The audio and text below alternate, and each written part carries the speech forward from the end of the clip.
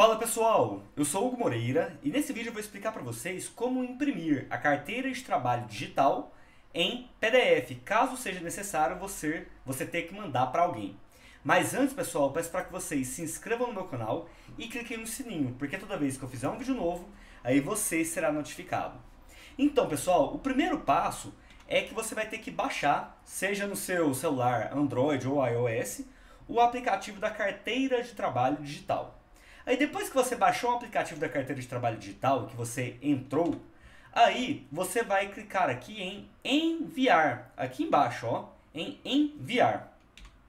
E aí você seleciona os itens que deseja enviar, pode deixar aqui todos os dados da carteira e vai clicar aqui, ó, em PDF.